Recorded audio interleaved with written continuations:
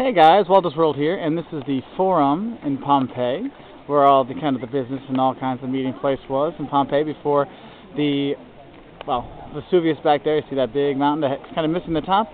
Well, that's the volcano Vesuvius that in the year 79 AD blew up and rained ash and pumice stones down on Pompeii and buried it for, you know, 1,000, 2,000, 1,500 years before it was rediscovered and kind of minor excavations took place. Now, of course, you can come see it with the two and a half million tourists that come every year to see it.